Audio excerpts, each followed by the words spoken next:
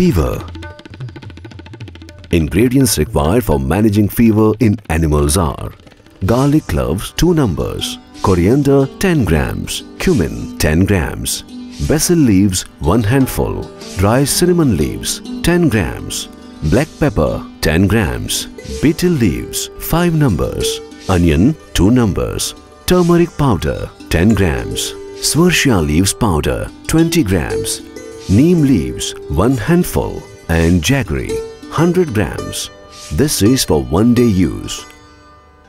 Method Soak cumin, black pepper and coriander in water for 15 minutes. Grind all the ingredients to make a paste.